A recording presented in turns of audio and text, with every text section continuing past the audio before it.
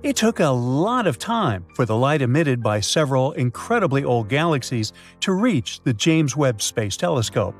After scientists made more precise estimates, it turned out that the photons had been on the way for over 13 billion years. That's about as long as the entire history of the universe, and only recently have they reached our orbiting observatory. These dramatic results have revealed that the universe started creating stars almost immediately after the Big Bang. But if you look at the images delivered by the James Webb, you won't be overly impressed. Just a handful of smudges, a few glowing spheres, and something resembling a dog bone. And still, the world of astronomy has been left speechless. The telescope's giant mirror has managed to capture the oldest known galaxy in the entire universe. The galaxy got quite a prosaic name, mostly consisting of letters and numbers. Yeah, that's rather catchy. It appeared a mere 320 million years after the Big Bang. In comparison with our home galaxy, this ancient one was tiny, but after its birth, it started vigorously producing new stars at a rate comparable to that of the Milky Way. Interestingly, the Webb telescope has managed to photograph a few other ancient galaxies that had the same characteristics. Based on the snapshots of the baby universe we've got, we can conclude that in those ancient times, the first galaxies and stars were evolving amazingly fast. They also appeared much earlier than most scientists thought. Now, let's talk about the hero of the day, the outstanding telescope itself. The James Webb Space Telescope is a stunning piece of equipment. It's around 100 times more powerful than the Hubble Space Telescope, and the latter has observed places that are 13.4 billion light years away. The James Webb Telescope is also on the pricey side, to put it mildly. Even though originally the cost of the telescope was estimated to be just 1 to 3.5 billion dollars, the entire process of its construction cost around $10 billion. For comparison, NASA spent $4.7 billion to build and launch the Hubble telescope and it was another $1.3 billion to fix it in orbit. Even though the James Webb Space Telescope itself is three stories high and the size of a tennis court, its mirrors are the lightest large telescope mirrors of all time. No wonder, during the manufacturing process, they underwent a 92% reduction in weight. The lighter, the cheaper it is to send stuff to space. If you had a chance to look at these mirrors, they would seem to be gold but they're made of beryllium. This is a steel gray, lightweight, and brittle metal. A gold coating is still applied to each mirror, but they can't be produced entirely out of gold since this material needs to expand and contract even with small temperature changes. And that's not what we need to happen to a super precise piece of equipment. That's why the total amount of gold used in the construction of the James Webb Telescope is less than 2 ounces. That's a golf ball sized chunk of gold the gold plates covering the mirror are only 1,000 atoms thick. If we speak about all those incredible feats the telescope is capable of, it can clearly see a US penny from 24 miles away and a football from 340 miles away. Hey, what's the score? JWST comes with significant advantages over any previous mission. For example, its 21 foot mirror is composed of 18 gold plated hexagonal segments. They gather more than six times as much light as the Hubble Space Telescope's almost 8 foot mirror. It means that James Webb can record light from all kinds of space objects six times faster than its predecessor. The telescope's sensitivity to infrared light is also astonishing, which is remarkable since it can see different things than optical telescopes. You can say it's a real game changer. The James Webb can observe wavelengths from 0.6 to 28.5 micrometers, from the red end of the visible spectrum to the mid infrared. As for Hubble's optics, most of the telescope's sensitivity is centered on visible light. It might sound surprising, but in its intended infrared domain, the Webb telescope isn't likely to resolve finer details than Hubble can detect in optical light.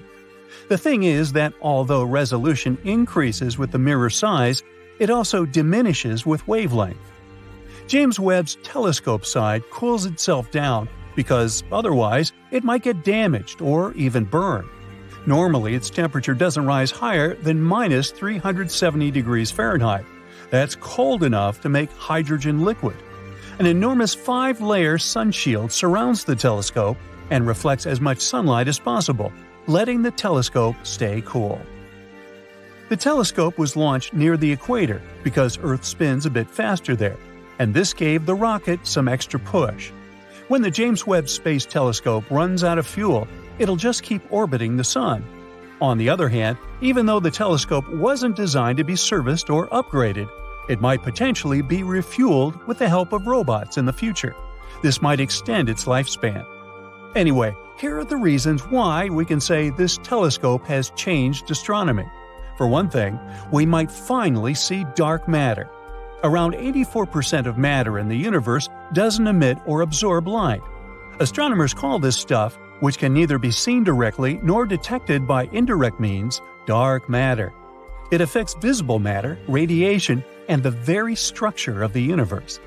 Dark matter is like some binding agent of our universe, and we're still not sure whether it exists.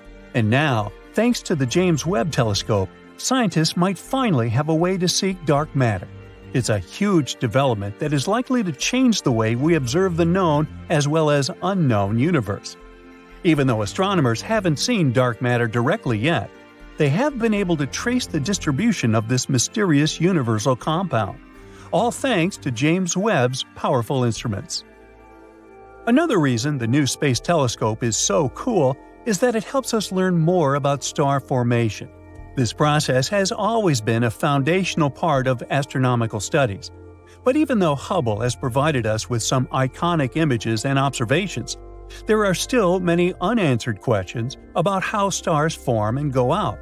But astronomers are sure that James Webb will fill in the blanks. All because this telescope can peer further and deeper into the universe than any other telescope that has ever existed. Its location and cutting edge equipment allow it to gaze through gases and dust surrounding early galaxies and stars. It will let us get a better look at star formation. It's also obvious that Webb's discoveries are bound to change the way we think of the early universe. For example, recently, the telescope has revealed several large galaxies that scientists believe existed not long after the Big Bang. They aren't supposed to be there, and no one expected to find them. And still, the James Webb Space Telescope has spotted them. These six galaxies, as massive as our home Milky Way, are full of mature red stars. Astronomers have analyzed the light coming from them and estimated their age 5 to 700 million years after the Big Bang. The most bizarre thing about these galaxies is their tremendous size and the age of the stars inhabiting them. This information doesn't coincide with the existing ideas about what the universe looked like and how it evolved in its early years. Plus, it doesn't match the earlier observations made by Hubble. Astronomers hope that one day James Webb will help us find new exoplanets and even detect water there. For a long time, astronomers have been discovering planets orbiting stars outside the solar system by monitoring slight dips in stars' light. Such dips happen when planets pass in front of them, and reading unique signatures in the light can tell us about planets' chemical composition. The strongest and most readable signatures happen within the infrared spectrum. Have you just thought of James Webb's state of the art infrared instruments too? They can help scientists spot new planets and even identify the presence of water there. Jupiter has 79 known moons, and the four biggest of them that are particularly interesting are Galilean moons. They were named after Galileo Galilei. He discovered them in the 17th century. They have something in common, but at the same time are all very different. Europa is the smallest of the Galilean moons with a diameter of 1860 miles. It orbits Jupiter every 3.5 days. The first images we got from there were taken in the 1970s. Its surface mostly consists of water ice. Europa has long fractures, often around a mile wide, that can extend for thousands of miles across its surface. They were probably formed as the crust pulled apart from tidal forces on the mysterious ocean beneath the surface. In 2012, scientists discovered water vapor plumes erupting close to its south pole, rising up to 125 miles. These plumes can help us find what's inside Europa. without having to land there. Scientists think there could be a magnificent ocean hidden 10 to 15 miles beneath the solid surface. That ocean could be 40 to 100 miles deep. Even though it's just one quarter of Earth's diameter, it contains twice as much water as all of our oceans together. This ocean is a potential environment for some forms of life. Scientists believe the entire ice crust is floating on that ocean. It probably makes a full rotation around Europa once every 12,000 years. In the image the Galileo spacecraft took, you can see small dark brown spots. They're six miles across and formed as the hot, less dense material was getting to the surface. It either pushed the crust or broke through it altogether. The surface of Europa consists of so called chaos terrains. They're rough areas surrounded by a smoother surface. Its equator could be covered in ice spikes called penitentes that can go up to 50 feet high. We have them on Earth too, especially in dry areas at high altitudes, but none of them are as big as those on Europa. Our moon has over 5,000 big craters with a diameter of more than 15 miles. Europa's surface lacks impact craters and doesn't look like it's more than 50 million years old. This means the surface of Europa is changing and reforming all the time. This moon is icy and is one of the smoothest of any solid space objects in our solar system. Because of it, it's five times brighter than our moon. Europa is under a constant blast of radiation coming from Jupiter. It's so strong, we wouldn't last even a day there. Europa is five times further away from the center of our solar system than Earth. That means it barely gets any heat coming from the sun, so it can remain frozen since the average temperature is negative 250 degrees Fahrenheit at the equator and around negative 360 degrees Fahrenheit at the poles. About 40 years ago, the Voyager 1 spacecraft came close to the rocky moon Io and discovered that it's a volcanic champion of our solar system. Io is Jupiter's fifth innermost moon, 4.5 billion years old nearly the same age as Jupiter itself. It's similar in size to our moon, and even has a similar density and amount of gravity. Many moons in our solar system consist of silicates and water ice, but Io is made of iron and silicate rock. You'd be able to see some beautiful auroras on Io. As this moon rotates around Jupiter, auroras change brightness all the time, but they're always there. Io is relatively close to Jupiter, almost 260,000 miles above its cloud tops. If you could come to Io and take a look at Jupiter from there, it would appear almost 40 times bigger in the sky than our moon. Stargazing there would be amazing. Io needs 42 and a half hours to orbit Jupiter. Our moon needs almost a month. At some points, Io's tidal bulge can go up to 330 feet. It's similar to what we have on Earth. The gravity of our moon causes ocean tides. Io doesn't have an ocean, but the ground itself moves and goes up and down. It's like an elevator taking you to the bottom and then the top of a building with 30 stories. The gravity of Jupiter and its other big moons affect Io, so the solid ground tides on its surface are over five times as high as the highest ocean tides on our planet. All this makes Io so hot on the inside that some of the inner materials melt, boil, and try to escape in any way possible. Eventually, it creates a hole in the ground, which then turns into a volcano. Io is the most active body in our solar system when it comes to volcanoes. Io has more than 400 of those, with 150 of them erupting all the time. Some of them shoot their hot gas plumes 200 miles into space. It would be difficult to walk there because we're talking about a pretty intense world of floodplains of liquid rock, huge lava flows, multiple lava lakes, and giant collapsing mountains. Ganymede, the largest moon in the solar system we know of, also has the biggest water ocean. It's 26% greater than Mercury when it comes to volume, but it's less dense. This giant moon has a thick crust of water ice 90 miles deep. There might be a huge ocean of liquid water underneath. It extends 60 miles deep. which is about 10 times deeper than the deepest point in the Earth's ocean. The Voyager spacecraft also detected polar caps made of water frost there.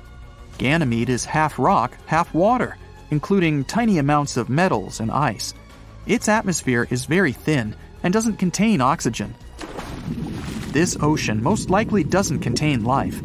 The Earth is a great example of how certain microbes and creatures can survive deep down without sunlight. But the ocean of Ganymede is so deep and the pressure is so strong that the water at the bottom is probably compressed back into ice. Certain forms of life in the deepest areas of our ocean survive thanks to geothermal vents that eject minerals. Since there's likely thick ice between the ocean and the core, this isn't the case with Ganymede. But the ocean there is salty, with multiple layers divided by icy sheets. If there's any chance of life, it could be in the part where the rocky core is in contact with the most internal icy layer. Beneath all that water and ice, Ganymede is the only moon in the entire solar system with a magnetic field. It's possible because this moon has a liquid core. Ganymede circles Jupiter approximately once every seven days. Its orbit is so eccentric that at some points it's pretty close to Jupiter. Ganymede, Io, and Europa have gravitational forces that affect each other. In the time Ganymede orbits Jupiter once, Europa makes two orbits, and Io makes a full circle four times. One third of Ganymede's surface contains big dark regions, while the other two thirds are lighter. Dark areas are older and contain more craters. Lighter areas have long ridges and grooves, about 2,300 feet high and thousands of miles long. Callisto, the third biggest moon in the solar system, 3,000 miles in diameter, needs 17 Earth days to orbit Jupiter. Its atmosphere is very thin. There are many impact craters. But its ancient crust has basically been the same for more than 4 billion years. When a planet is geologically active, like the Earth, some things can erase most of the evidence from past impacts water, volcanoes, tectonic plate movements, human activity, and weather. All this changes the surface. Callisto has experienced none of those. Scientists think this moon used to be an ocean world that eventually froze over. It was hit by meteors from time to time, but mainly remained untouched. And yet, it still has some pretty impressive craters, like Valhalla. The biggest multi ring crater in our solar system, that's 2,500 miles in diameter. Major craters on Callisto contain more rings than those on other celestial bodies. Whatever hit the moon was big enough to have punctured the thin crust, causing water to spread on the surface. And under this thin crust, there could be either salty ocean or soft ice. The Galileo space probe detected that Jupiter's magnetic field couldn't penetrate through this moon, likely because of a layer at least six miles thick. That's why it's hard to explore Callisto. Moons like Europa have vents that eject water from the subsurface oceans.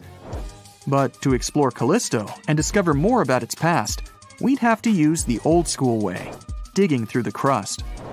If we wanted to explore the outer parts of our solar system, Callisto would be a great spot because Jupiter's radiation doesn't reach it.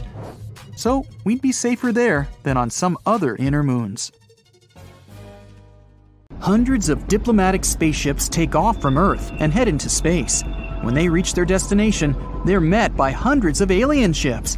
This is humanity's first contact with an extraterrestrial civilization.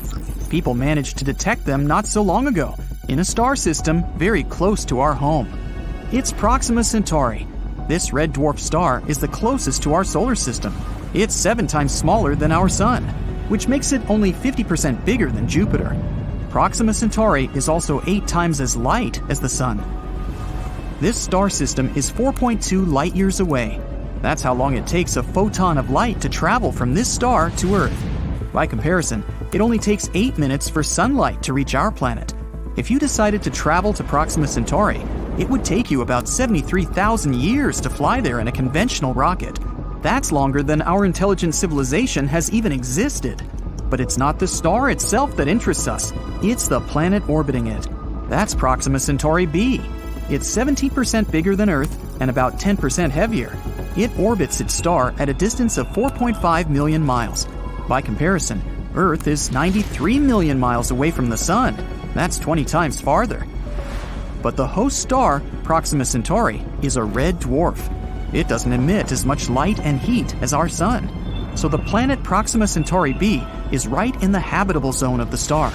It's located at such a perfect distance from its mother star that the planet neither gets too hot nor turns into a block of ice. In other words, the temperature there makes it possible for water to exist in its liquid state. This means that Proxima Centauri b could host life. But further observations of the planet make it doubtful. The host star is very unstable. Its brightness changes too frequently. In 2017, astronomers witnessed a catastrophic flash.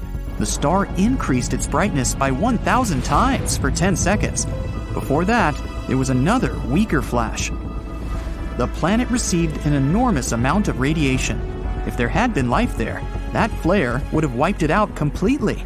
Overall, Proxima Centauri b receives about 400 times more X rays than Earth. Complex living organisms cannot live under such conditions. Scientists say that even if there was an atmosphere and an ocean on Proxima Centauri b, this constant radiation would simply blow them off the planet.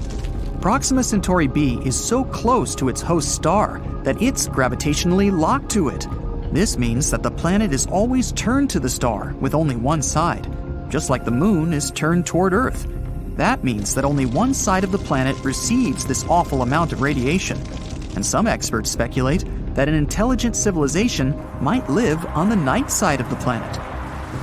And it could be this civilization that sent us the strange signal that astronomers caught in 2019. Scientists described it as, quote, a bright long duration optical flare, accompanied by a series of intense coherent radio bursts. This radio signal was observed for 30 days by one of the radio telescopes on Earth. Scientists thought the signal was artificial and could have been sent by an extraterrestrial civilization. Presumably, the signal came from Proxima Centauri b, or one of the moons that might be in that star system. But further observations failed to detect the signal. Now, the main theory claims that this radio signal is just some kind of interference from some technology on Earth. But what if it was really sent by a civilization living on the dark side of Proxima Centauri b? Well, we may soon find out for sure. People are launching a brand new telescope into space. It's the James Webb Space Telescope. It's scheduled to be launched at the end of 2021. A booster rocket will take off from Earth and reach orbit. Then, it'll deliver the telescope to a specific point between our planet and the Sun, where their gravitational forces are roughly equal. Plus, there's no light pollution in space, unlike on Earth's surface.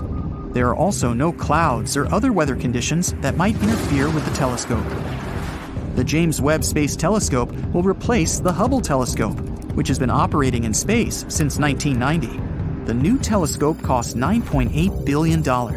And here's why it'll use a mirror as wide as a boxing ring. This will allow the telescope to see very far into space. So far, in fact, that the light from some events happening there won't have reached Earth yet. This means we will literally be able to look back in time. The James Webb Space Telescope will see the universe almost immediately after the Big Bang. We'll see how the first stars and galaxies were born, and how the universe turned into what we observe today. But also, this telescope can be used to examine Proxima Centauri b. Astronomers will be looking for artificial light there, like the LED lights we have on Earth. If Proxima Centauri b really hosts life on its night side, then the locals must have learned to transfer heat and light from the day side of the planet, and they would have to use artificial light to support life on their side. The James Webb Space Telescope is powerful enough to distinguish the light waves emitted by the star from those that might be created by someone on the dark side of the planet. And if we do detect some artificial light, we'll have the first ever confirmation that an intelligent civilization might exist outside our solar system. But there's always room for error in calculations and data interpretation. The only way to establish the truth, once and for all, is to send a space probe to Proxima Centauri. Then we can get real pictures of the planet. The main problem is distance. Although Proxima Centauri is the closest to the Earth star system, it still takes tens of thousands of years to get there. After all, the Voyager 1 space probe needed about 44 years just to leave the solar system, and that's just a small step compared to the actual distance to the nearest star. So, we need other methods of travel, and they have to be much faster. Some scientists want to send microprobes to Proxima Centauri b. They won't be any heavier than a sewing needle. A launch vehicle will deploy about a thousand of these probes into orbit. Then they will unfold a space sail. This is an ultralight material that will use the power of light to create thrust. When the sail is deployed, we'll focus a powerful laser beam onto it. This will accelerate the probes to about 20% of the speed of light.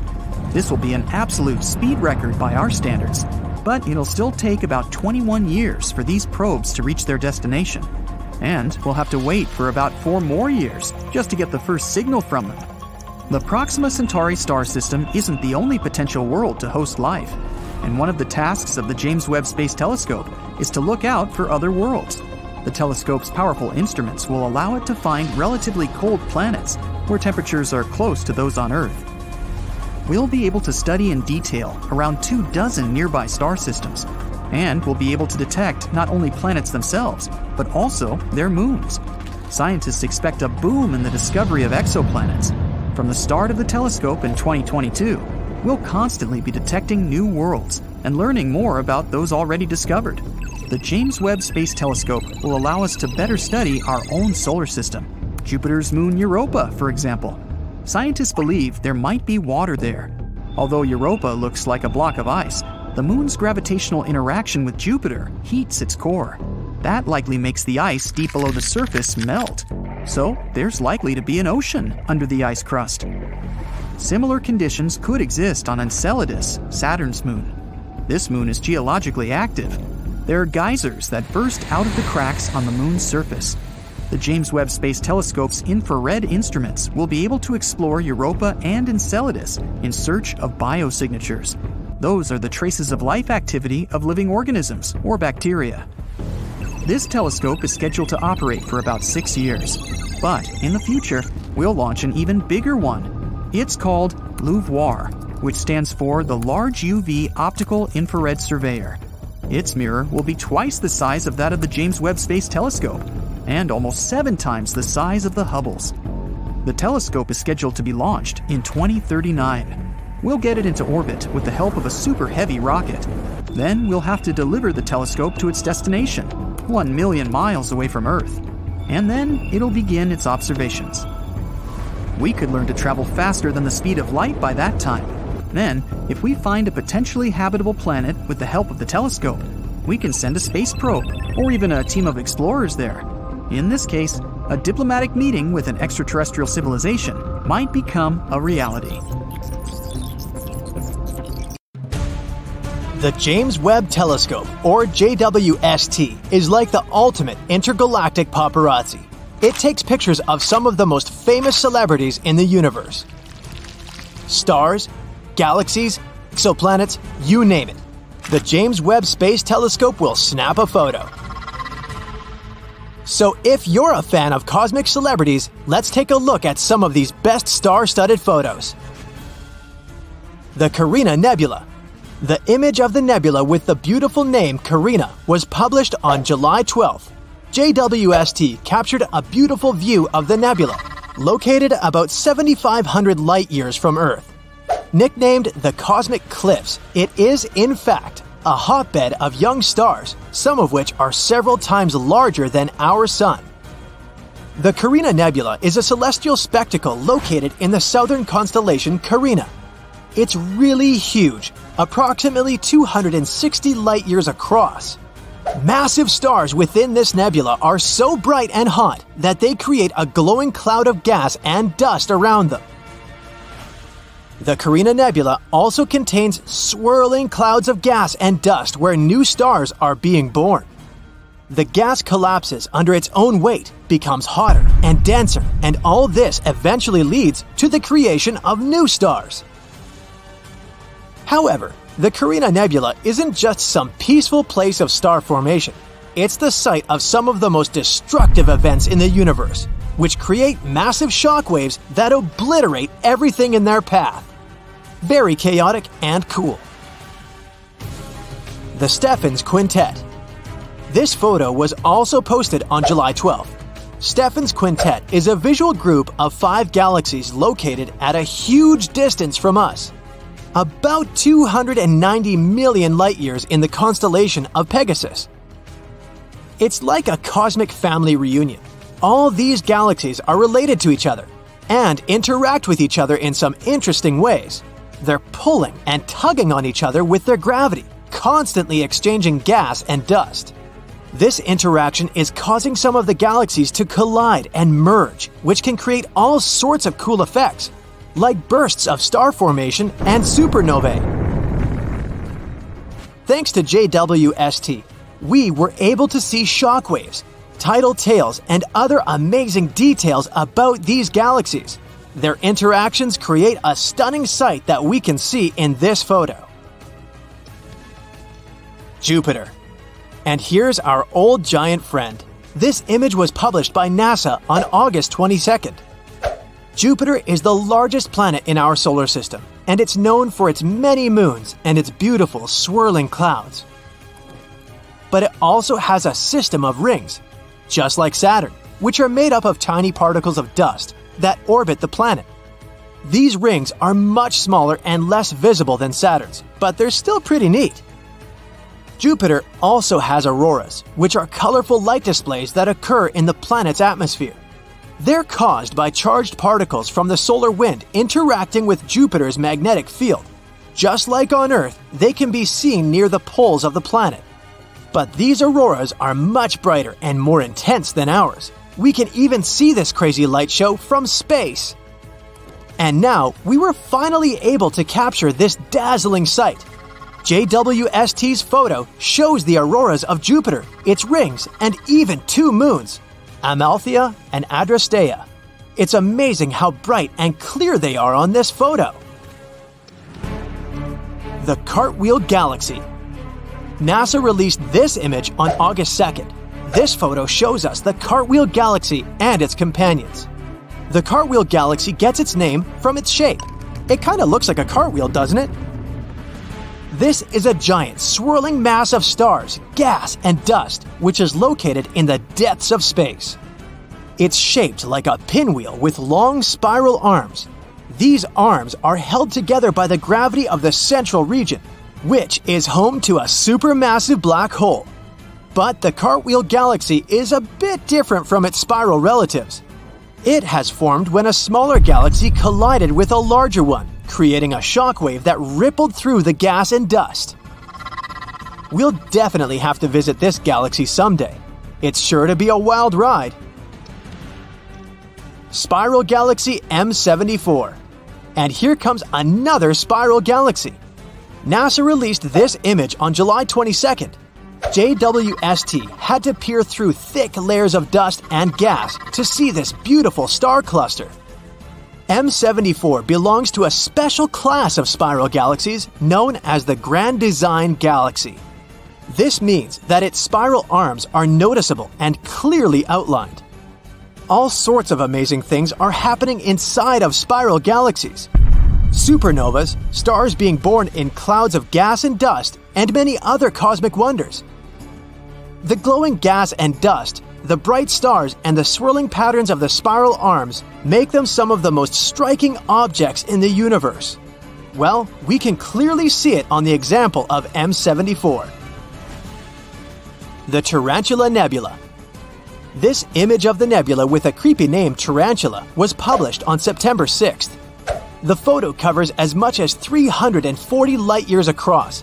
This is a huge distance, Thanks to this image, astronomers have discovered new young stars that were previously shrouded in dust.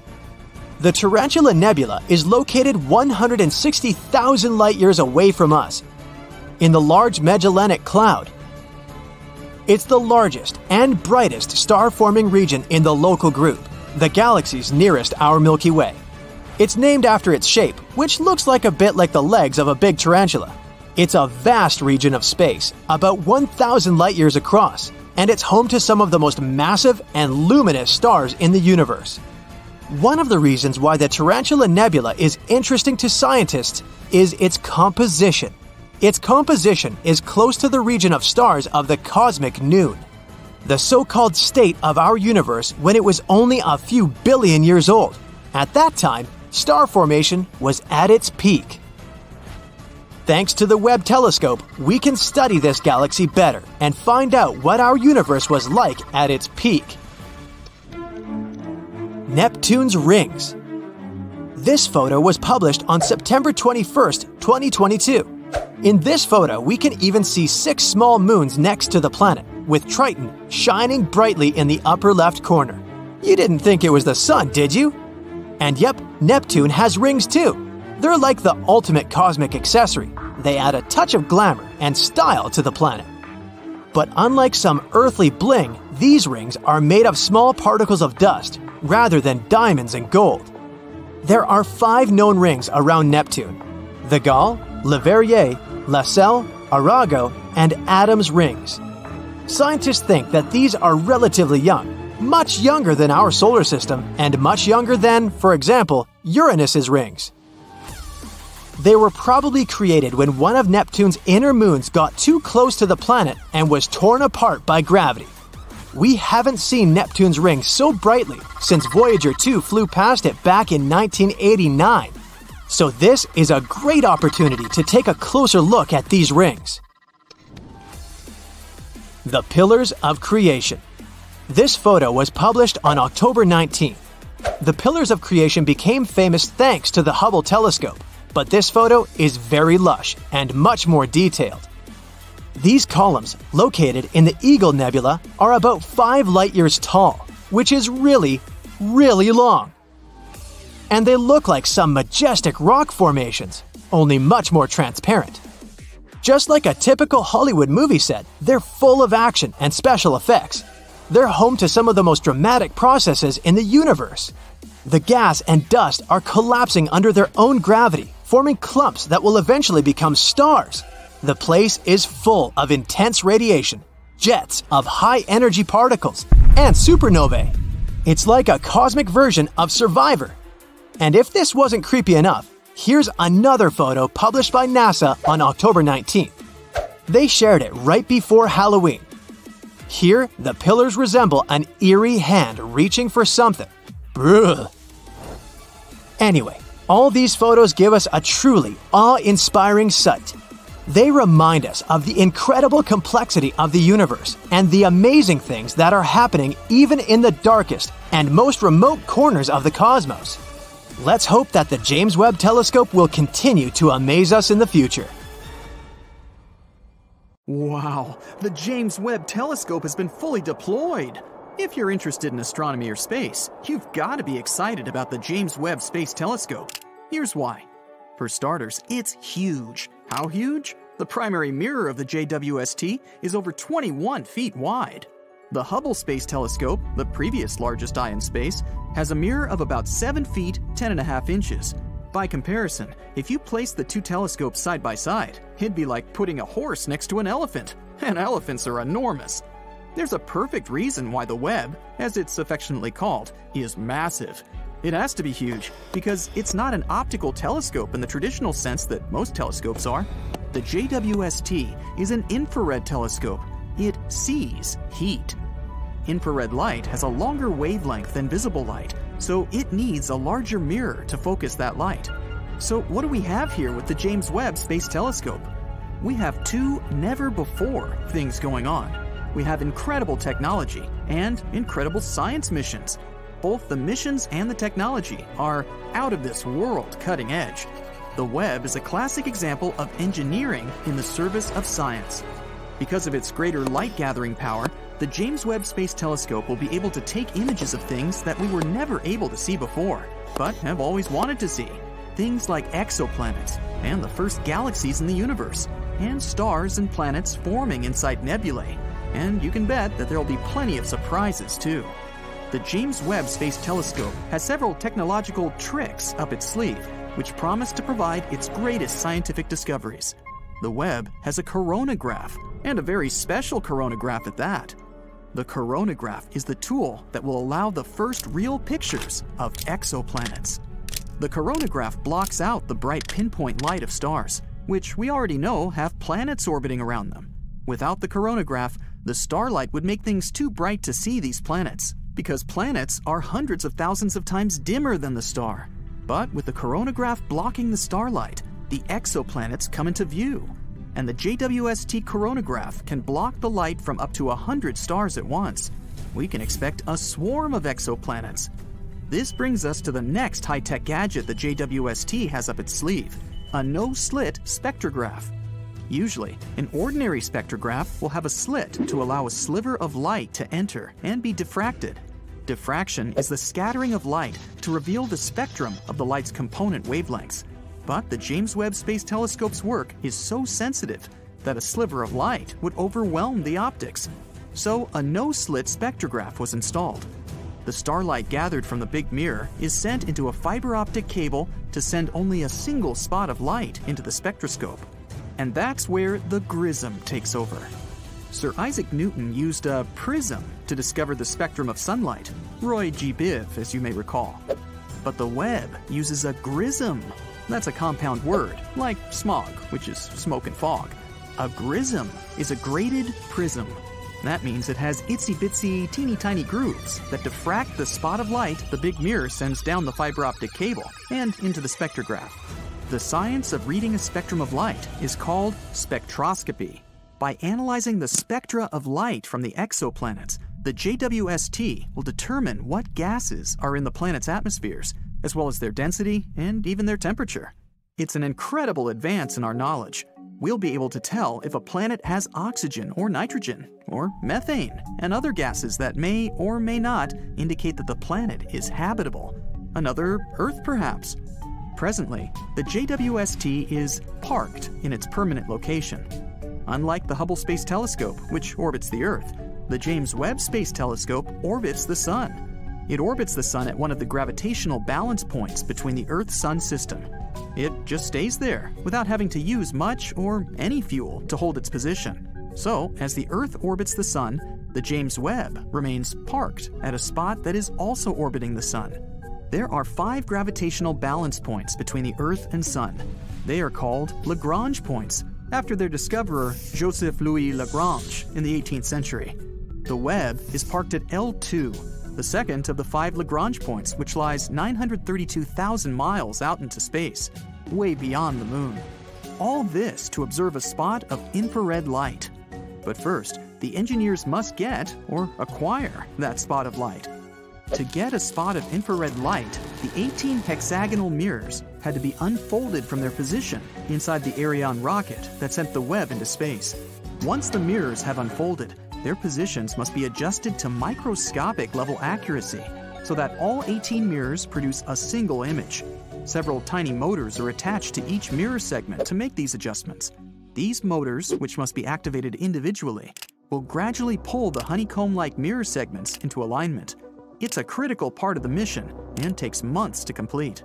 To align the mirrors to produce a single spot of light, the James Webb Space Telescope can't be jiggling around. The telescope must be kept absolutely motionless, and that requires two other cutting edge technologies the sun shield and the cryocooler. In space, direct sunlight is very hot, and shadow is very cold. Therefore, the James Webb Space Telescope brought along its own high tech sun shield. It's huge, too, as big as a tennis court huge, comprised of five individual layers of Kapton film, only a millimeter thick. Each layer of the sunshield has to be remotely deployed individually using a system of 8 motors and 139 actuators with thousands of parts. The purpose of the sunshield is to help the JWST stay cold. The colder the better. And colder is what the cryocooler is for. Temperature can be measured three different ways in degrees Fahrenheit, where water freezes at 32 degrees and boils at 212, in degrees Celsius, where water freezes at 0 degrees and boils at 100 degrees. But neither of these thermometers have a starting point. So, Lord Kelvin in the 19th century devised a third temperature scale, the Kelvin scale, which starts at absolute zero, the coldest temperature possible. The onboard cryocooler will cool the JWST to just 7 degrees Kelvin, 7 degrees above absolute zero. At this temperature, virtually all heat from motors is removed, and the telescope will be able to focus the light to a point without any noise, basically, any motion interfering with the quality of the image. Finally, after all this incredible technology functions remotely as planned, we are almost ready to observe the infrared images from the giant multi segmented mirror of the James Webb Space Telescope. Almost ready. A telescope can collect all the light it wants, but in the end, it must also be able to detect what it's collected. If the light is not detected, it's not truly observed. Enter the piece de resistance, the infrared detectors. The Webb has 15 of them. The specially fabricated semiconductor material produces a slight electrical charge when struck by a photon of infrared light. The Webb's infrared detectors can produce a million pixel high def image a few of the detectors can produce a 4 million pixel image. They must be durable enough to last 10 to 20 years without warping or corrupting, all while working at 7 degrees above absolute zero. In themselves, the infrared detectors on the JWST are an engineering marvel. But what are they going to take pictures of? Ah, the missions of the JWST. Well, they're cutting edge too. 70 of the first 280 target observations are exoplanets, is there another Earth? Which exoplanets seem habitable? The Webb telescope will provide detailed spectroscopic analysis of the atmospheres of thousands of known exoplanets. For the first time, we will see images of exoplanets as they appear in infrared light. Cosmology, the study of the universe, is perhaps the primary mission for the Webb. Galaxies receding away so fast that their light is stretched into the infrared will be a prime target for observation. Hundreds of hours of observations are necessary to collect the faint infrared light from these first galaxies formed after the Big Bang. The JWST will give us a picture of what the infant universe looked like. Astronomers will learn new information about the dark energy that is driving the expansion of the universe and what role, if any, black holes play in the formation of galaxies. Star formation in the Milky Way and nearby galaxies is also part of the mission of the James Webb. By imaging hundreds of solar systems forming around newborn stars, astronomers will establish a definite history of solar system development. Now, fact will replace theory, and a big step forward will be taken in our understanding of space. The James Webb Space Telescope is a bold endeavor that will mark an epoch time in scientific history.